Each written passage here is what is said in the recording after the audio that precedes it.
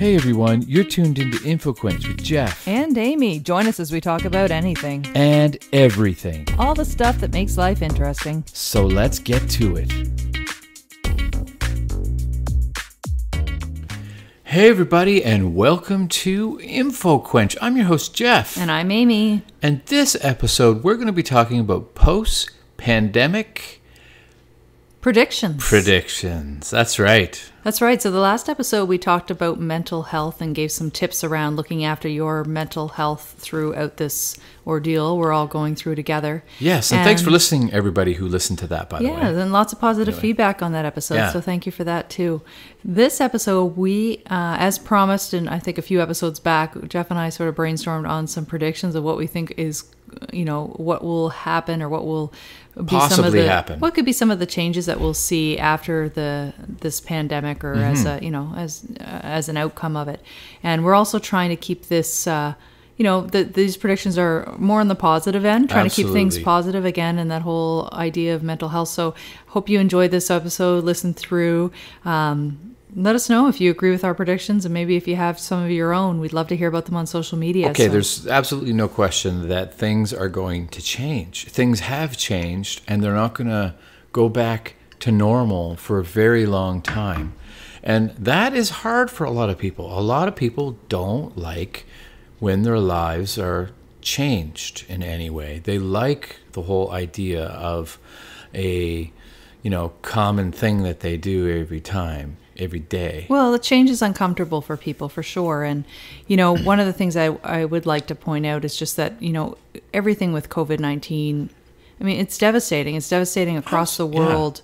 And so we're, we're going to talk about some of the positive things, but it's not to, you know, discount the, uh, the many negative outcomes of what's going on with this pandemic. But, And you know, as a just for- whole, that is the kind of perspective that people should have during a pandemic or, uh, you know, a, a public health emergency. Is, you know, in order to to stay, you know, sane and have a clear mind, it's good to have positive outlook on life and on. Uh, it's just everything. Well, I'm. I'm, I tend to try to find the humor in just about anything, in even the most you know dire situations. I see some people are getting, you know, uh, grief on social media for posting memes about different things, but I think you know a good laugh is good for the soul. It's I good for boosting our immune system, and it's uh, you know it's you know I I think it's if it's meant to just sort of spread joy and laughter and, Yeah. and, and try to keep spirits light Sometimes wouldn't you not agree? meant in a vicious uh, or you know or Yeah. malicious manner, then people need to take it in the. people have to stop attacking one another. But the thing is, is like even though laughs, they take time to sort of get used to. Take Saturday Night Live for example. Their first uh, episode Yeah. after Let's talk was- about that for a was pretty crappy, and then the second one was great. It was like day yeah, glow, the like first it was like it was literally like the first episode of SNL where they did you know everybody was doing the skits from their home. It was like watching somebody film on a 1980s camcorder, Right. Versus, Right. Uh, you know, uh, you know, the or Polaroid versus today's, uh, you know, uh, sorry, one week later, all of a sudden the production of all of those skits went way up. There's, you know, Even the quality of the writing and everything. well, we talked about that a lot of celebrities are home and are not filming movies at this gotta- point, so they've, to they've made You use gotta of make celeb- people laugh. They had Brad Pitt on, uh, you know, Yeah, and as uh, Anthony Fauci. Remember that? yeah, it was and, and doing a thank you, and so yeah, if you're not if you're not uh, watching SNL, give it a chance because They're trying like just like everybody else. They are. But the first week, uh, it was a bit of a dud. I, I felt like it was a bit of a dud. But last, Mostly. but last week, I was really impressed, and I'm looking forward. We're recording this on uh, on Saturday Saturday. Saturday night, May second, and uh, we're looking- I'm Live looking- from St. John, it's, It's InfoQuench. Saturday night. so looking forward to what they what they bring out tonight. So right. but it, but Um, yeah, the world's adapting, and sometimes it and takes it's a little bit. And it's important bit. to stay positive. It's it's important to at least try to stay positive because sometimes it's not always possible. so let's talk about some of these predictions. Let's do it. Let's do it. All right. So, um, yes. So, positive post pandemic predictions. In other news, alliteration's at an all time high. Yes, positive post-pandemic predictions. This first one I had, and I'm not doing a numbered list because I just, I'm not going to torture myself with Jeff messing up my numbered list. But The first one I think is probably obvious. Uh, Handshakes are going to be a thing of the past. Right. And the the whole. European, you know, kiss on the cheek. anyway. I think that'll be gone too. I like was the never whole the whole idea, the whole idea that oh, when that person shook my hand, boy, they did it so rigorously. Rigorously, they must really like Oh, the me. whole idea of the firm, whole, hand, like- the firm handshake I mean, during the job on. interview. Yeah, I mean that was always one of the, you know, one of the. If you're That's- if you're giving somebody now. advice on a job interview, you'd be like, make sure you give a firm handshake. Now, when you're Not in the anymore. now when you're in the business workplace, you can just wave from six feet away. I think bows, like a head bow, you know, I Yeah. think that'll probably be more common form of greeting. Yeah, I can see that. Um, it'll be interesting to see how greetings evolve and how we change change things up to adapt. Mm-hmm. Um, because it, it, things are going to change in that respect. Because, I mean, okay, uh, traditionally human beings have have greeted one another in one way or another, and it's been sh- handshakes for I don't know how long, like fifties, would you say? Probably, maybe oh, even I, earlier. I don't know. I don't. I don't know either. I'd have to but- research that, honey. Yeah, I know, and and and we don't have time for research right now. This is this is off the floor here. This is this is Saturday night info quench.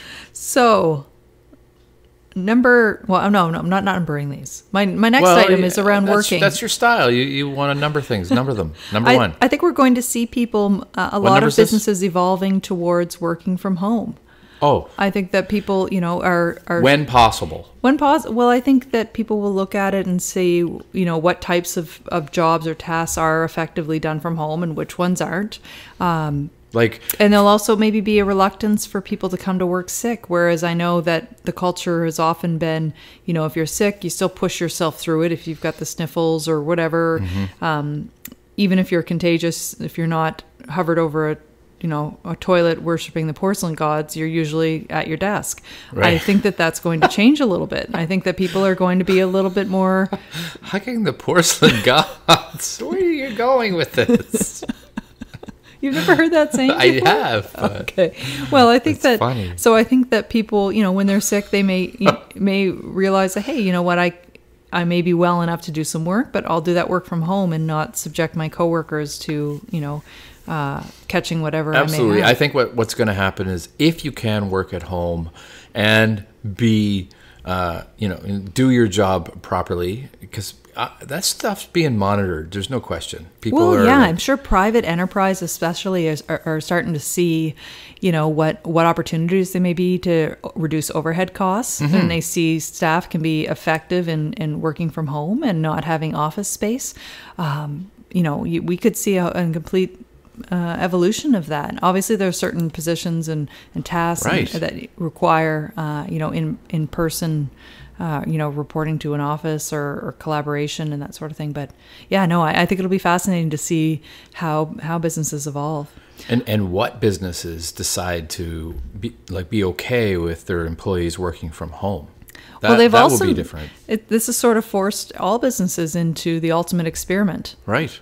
And yeah. so they can they can see what's effective and what's not, and they'll be able to use that information Here's a question though. going forward. Do you think a lot of these, uh, you know, predictions or things that will happen with businesses during COVID nineteen, the stuff that's going to happen, that's going to change? Do you think it will continue once COVID nineteen, once we have a vaccine, once we have everything? Do you think a lot of business will be like, hey, you know what? It's still a really good idea to be six feet away from one another.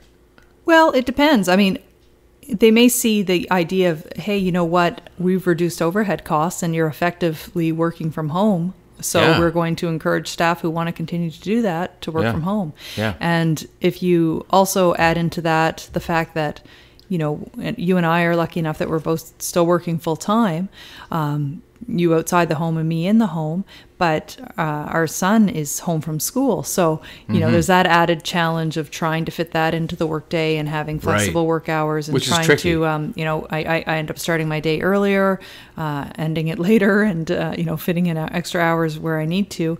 But if you think about in the long term, when our, you know kids are back to school or back in daycares, then people working from home who are doing it effectively will do so even more effectively once childcare is back in place. We've noticed that that, that uh, our son, who's uh, seven, enjoys working on the computer lately. You know, like they sent home our our like school board has sent home, uh, you know, actually it's more like kind of educational computer games is what they're playing. That's why he loves it so much. So if they continue with that thread in the educational spectrum, I think that it'll be really really uh, beneficial to children.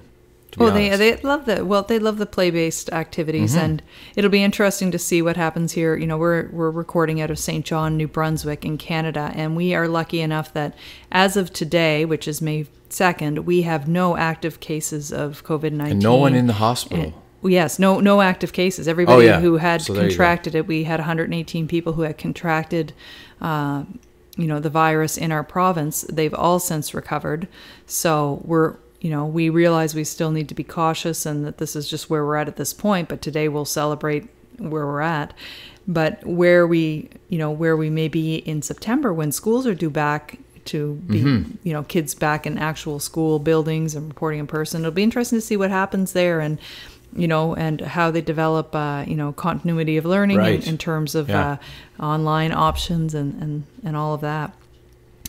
Another prediction. I think that we're going to see more stores move to just offering more delivery options and curbside And pickup and online. Yeah. So we've seen a lot of local companies, uh, local businesses evolve quickly to offer that to their patrons because they want you know want to give them a safe way to still.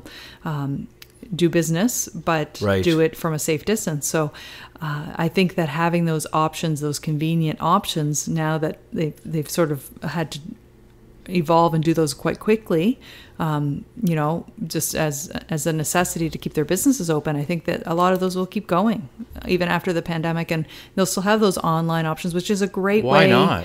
for us to continue to support local. Which is another prediction I have is I think that people have really come to appreciate the have all- importance of local business I agree. and particularly when we're looking at closing borders and restricted travel and what that means and when we're depending on products from outside our country or even outside of our We've always our, been our city very supportive of the local like businesses, uh, but even more so now. You know, not just like at this time in history because in time or weather or whatever, because uh, you know, local businesses need our help now more than ever to stay afloat. And but I'm hoping that that'll sort of continue on. That it people will. think, you know, for us it will, anyways. you know that they're uh, if we don't support these businesses, they may not be around. So Yeah. making that decision of you know being really Yeah. con- conscientious about what you can buy locally and, and making the decision to buy locally. And it's And it's not just the businesses either, but it's also the local scene, like musicians and stuff, supporting them.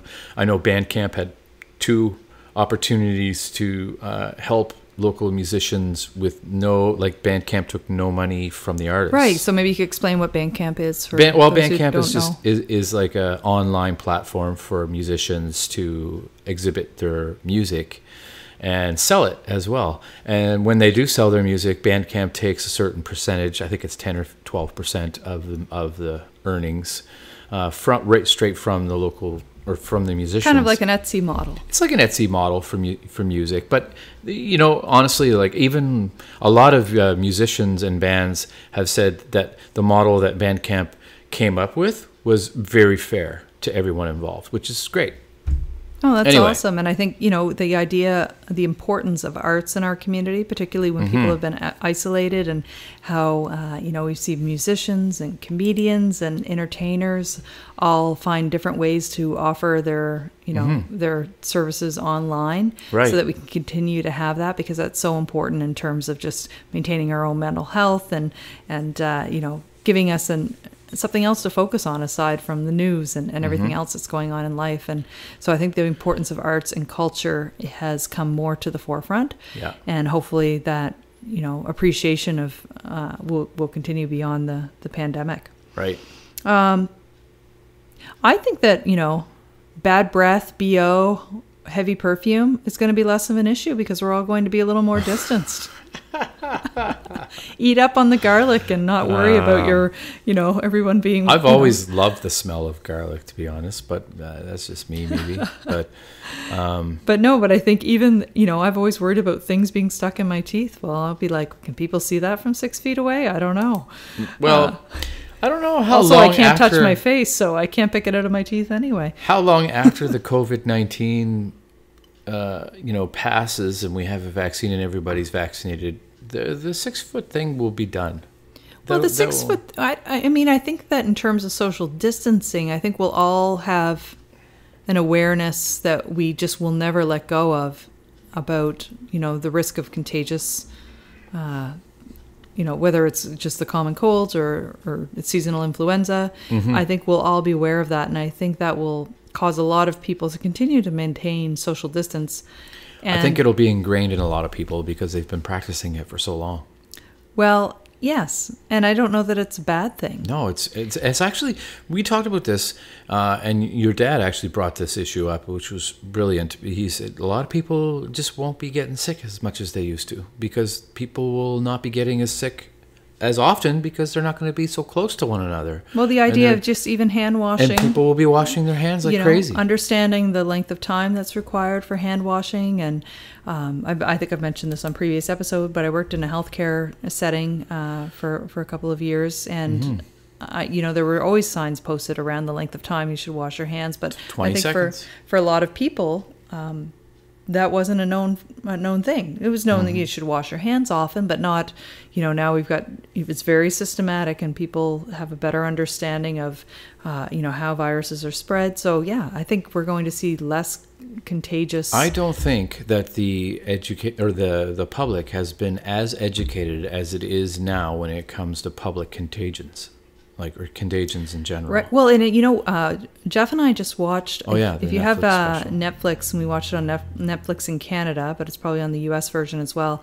It's um, Explained. It's called uh, Coronavirus Explained. It's only 26 minutes. It's Yeah. uh, it's uh, just a special docu series. One. It's just one episode. Super concise. Yes, but it's very current. I think it must have been just created at Yeah. the end of March, maybe, or sometime in April.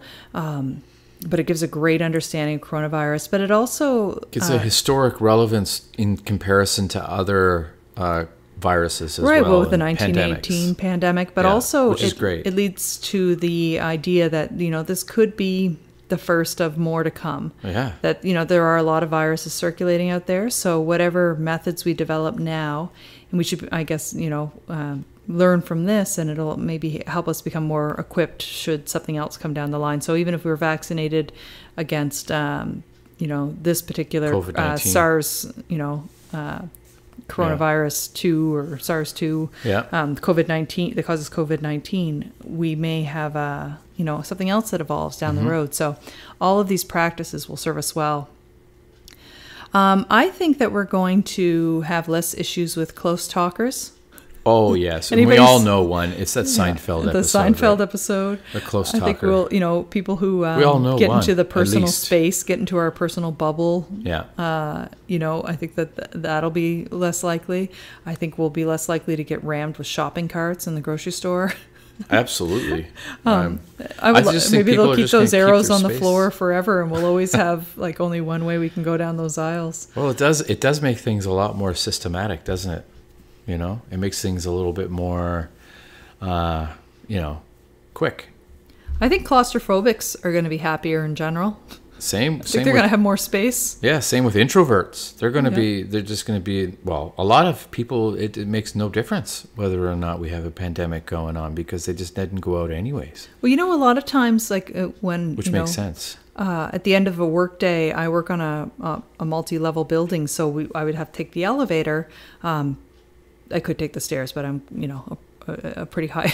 take so, uh, but you would jam on the elevator at the end of the workday, and if you happen to be going, you know, at a busy time, there your elevator would be crammed with people, and you sort of just sort of fit all in. But now I think that'll be much That different. won't be happening. Um, I know that they're doing studies and um, different office setups in Europe and, and trying to figure out, you know, just having spots on the floor on the in the elevator where people should stand. Mm-hmm. It forces people to keep the distance. Um, you know, and when the elevator uh, opens up the doors and there's too many people on it, you just wait for the next one or uh, or take the stairs. Although the stairwells too could be congested, but so I, I think that'll be interesting. Just Mm-hmm. um, how that evolves, whether planes will adapt. We Planes have know, already adapted. whether adapt it in terms of having everybody wear masks, whether eventually they'll limit seating so that Abs- there's more I think space. that's coming. Can you imagine if it was, you know, when you think about sitting on a plane now, uh, at, when we would go on flights, I mean, how many times would you sit and you would have, literally have a stranger's leg up against yours, right? Right. And wondering who's going to get the armrest. That's so over. when you think about how jam packed we've been, that's not just planes. That's trains. That's like subways. Subways, Subways would be another yeah. scenario. So I wonder, you know, planes though, I mean, it's huge fuel costs per flight. So Mm-hmm. they need to maximize the number of passengers they have. So it'll be interesting to see what they do in terms if of you look, infection control. I feel that if and, you and look, with the washrooms too, the shared Oh, washrooms and oh, those yeah. types of uh, traveling arrangements. if you look at the uh, the aspects of society that have been affected by COVID nineteen the most, for example, the um, the old folks' homes or you know whatever, uh, they're so close to one The another. The old folks' homes. You're such a I know. maritimer. but anyway, they're so close to one another, and that therein lies the problems that they had with as far as the the Well, they're increase in also incredibly susceptible to this inter- yeah. particular well, virus. That but- too, but but the fact that they were so close to one another, you know, their rooms or their beds were like next to one right another. any in kind of communal cases, living arrangement and, Yeah. and when you have caregivers who are that are get, that are getting no help. let's just let's just be honest. Uh, you know movie theaters we may see Mm-hmm. a, a little bit of difference there. We may see uh, some difference in the seating arrangements. Um, i mentioned a local focus. I think we're going to see more of a local focus on travel as well. I think people will be less likely for quite a while to want to get on a plane um, Yes. To you know and depending on what the screening measures are in different countries we'll sort of see Right. these different border controls set up Mm-hmm. which could delay entry when you're when you're traveling so it'll be interesting to see how difficult it is to actually travel and get through borders Right. after this passes of course we know about less pollution but maybe there'll be less banging of elbows at dinner tables There will be for sure. so when I, I, I reference, you know, when you're kind of you're sitting next to all these people at a at a large uh, a large dinner, maybe the, there'll be a conscientious effort for uh, seats to be more spread out. I can see that Mosh happening. pits. Mo- The well, thing of just the past. concerts in general. There's been, well, any, well, every single concert that was going to happen in the next year has been canceled. I think So- well they'll just look they'll look different, right? They'll look different. Well, they're already in where? Where was it? Lithuania. They, they, they're on the cusp of like innovative ideas when it comes to COVID nineteen. I feel because one of the things that they wanted to do was take their downtown and make it completely like a giant open air cafe, basically like chair chairs and tables everywhere, and people just relaxing in right in the streets where automobiles used to be. Well, you know, it's great. It's we've we've often enjoyed pedestrian Yeah. friendly cities, so this is sort of forcing that move towards And they've also started having concerts, but not with people standing watching, but in cars. So people are in their cars watching these Well, live interesting because that's how they've opened up church services here Yeah. in our in our provinces. They've started by saying people can participate in a church service by being in a car. Now it's it's bonkers different, no question, but it's innovative. Hey, we used to creative. watch, uh, you know, oh, well, I guess we still drive-through movies are set up that way. Yeah, exactly. Um, no more patty cake with strangers. No more patty cake. No. These are things that jotted down. Even uh, awkward home home gatherings. I put this. I sort of as I was making my notes. I'm thinking. I guess with kids' birthday parties when you're going to the you know the homes of the parents of your your kids' uh, friends. Yeah. So I mean, we when you go to kids' birthday parties and you've got to go to the houses of the you know kids in your your kids class and you, you don't know the parents and it's just awkward right or things like baby showers might look a little different uh, wedding showers all those that you know those weddings home uh, weddings themselves are going to look different. Oh, well, yes, that's right. Funerals are going to look so different. A lot of funerals are now going to be virtual in a way, or Uh, well, for the immediate out. time frame, or at least in the, I think it'll be just more spread out. When you think about, Yeah. um, we have visitation hours. I know it was a tradition that you know we do it here in North America, where we would have two-hour visitation sessions with the family. So that that in itself could look different. It's a whole different way of looking at the world. Makeup is going to look different. I think with the mar- Or lack wearing thereof. wearing of masks, I think lipstick sales are going to be down. It's all going to be about the eyes. That's my prediction. Invest in. Mm-hmm. your eyeliner and mascara. Um, it's all going to be about the eyes. Because everybody's going to be wearing a mask. That's right. um, it reminds me of back in when they stopped smoking in the uh, in the bars, and all of a sudden it was like we got to focus more on our makeup because they can actually see us. I never. I don't wear makeup, so No, I never even really thought of that. It's but you're right. Um, food samples, you know, when they do That's those, I, I don't think I don't think we'll see that much. Or anymore. alcohol samples at the liquor store. right? Any kind of samples, really. Um, you know, uh, maybe less flyers. We had, you know, Limited people in businesses as- well. That would- trying on clothes. yeah, trying on clothes. You know, when you're in a clothing store or, or any kind of trying on. You'll probably still be able to do that, but it'll be a different, uh, I different experience. Yard sales will be down. Well, they haven't been yet.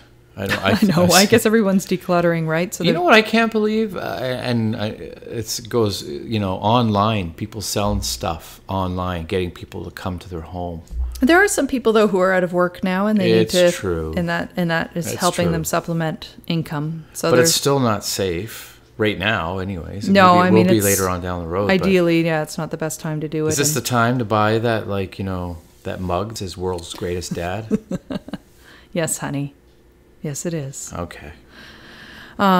Speaking of world's greatest dad, uh, Jeff turns a new year. You don't know how old I'm going to be? I am. I was just trying to save your listeners from. oh, okay. Uh, okay. Jeff will be 48 tomorrow on 48. May 3rd. So happy birthday early, Jeff. Thank you very much, honey. Um, I wouldn't want to spend it with anybody else but you. I think there'll be less door to door soliciting, Yeah. whether they're the uh, Jehovah's Witnesses or just Roger people Strabel. or somebody, yeah, anybody trying to sell things. Um, people pushing pamphlets in public places. Uh, I think that, that we'll see. Mm-hmm. You know what I'd like that. to see a, a dim- something diminish is junk mail. All these flyers. Why Well, not yeah, just I just them all I was digital? mentioning around flyers earlier, Yeah. and I, I feel like even like the you know the plastic bag flyers I think have already been stopped in our area. Those oh, drove me crazy. Uh, amu- amusement park rides. Yeah. I think that they'll change. When you think about being, you sometimes you're jammed in with a stranger in a in a seat for a roller coaster or the That'll Ferris change. wheel—that'll right. that'll change.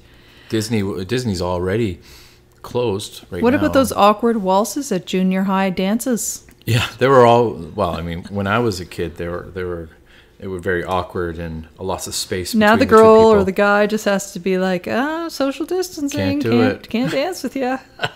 That's true. More cleaning at gyms. I know I've been to gyms and somebody gets off a piece of equipment and it's just like dripping with their sweat and they have Mm-hmm. not. I think people will be more conscientious to clean behind them, right. behind themselves when they are finished with equipment. So that'll be nice. Yeah. Less lice. Yeah, you know, less lice. That'll when you be good. get school age we get- kids, lice yeah. is uh, you know a very big issue. You get the the notice from the school, lice is going around, and it always uh, makes you uh, Yeah. you know cringe a little bit. I think any kind of um, it would be interesting. Lice may stop altogether. Yeah, you never know. I Could. I, I don't know. I it's don't, possible. I don't know how. I don't know what the verdict is on lice in respect of COVID nineteen. That's a it covers most of the things I jotted down, but the last thing that I had jotted down was that I think that my main prediction for after this post after the pandemic, my post-pandemic prediction is that we're and maybe even now we have it, more gratitude for everything. Well, especially family life. I mean, everybody who is at home and has a family, you know, uh, like the nucleus family, nuclear family is, uh, or whatever, whatever kind of family you have, you're close. You're you're do you're together all the time. So, and you can't help but get to know your family a little bit better. And what's wrong with that? I, not every family's perfect. I realize that, but at the same time, even the imperfect families are worth being around. well, whether it's gratitude for your, you know, your family, uh, you know, just the little things in life that Mm-hmm. all of a sudden we haven't been able to enjoy, you know, the visits to our local businesses and restaurants and uh, gatherings with friends. So I think that we've just all got to share gratitude for Right. for those things. I things. absolutely and, agree. And, And, speaking and of look, they'll- enjoying they'll, look different, but they'll Yeah. they'll come back and they'll come back in a different way. So but chin up, people. Chin up. And in speaking speaking of enjoying things, I hope you enjoyed this podcast and all the other ones we recorded. and hopefully it inspired you to maybe think about some of the positive things that are going to come out of all of this chaos because there will be some good things. So we're going to get through this. So stay safe, everybody. Stay safe, everybody. and thanks for listening. Thanks for listening. Bye bye. Thanks for listening. And remember, you can catch up on past episodes at infoquench.com. Or just about anywhere else you get your podcasts. Be sure to follow us on Twitter, Facebook, and Instagram. And help spread the word about InfoQuench. Till Till next next time. time.